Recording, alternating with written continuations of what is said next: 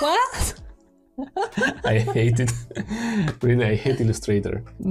I use it for 10 years. So, yeah, I'm used to it. I'm fine with it. Yeah, I I also use it uh, for 10 years, but mm, it's I, I, I hate it. It's so glitchy, oh my god. And you can use uh, Affinity or Inkscape or even Figma for free, and there's no reason to use Illustrator.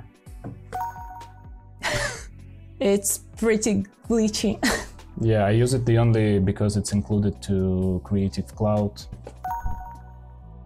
Okay. yeah, I, I don't see any big issues in it. Yeah, it's pretty cool and there's no competition at all, so Okay, I can understand it. Figma, just use Figma, guys. That's it.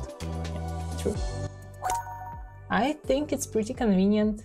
Yeah, it's working okay, but uh, there's DaVinci Resolve and it's free. I wanted to make five, but okay.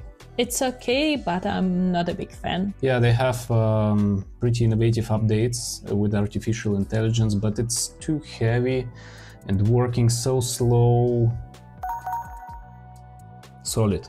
It's pretty much the only good program for editorial design. It's very good for prepress though. Yeah, InDesign is solid.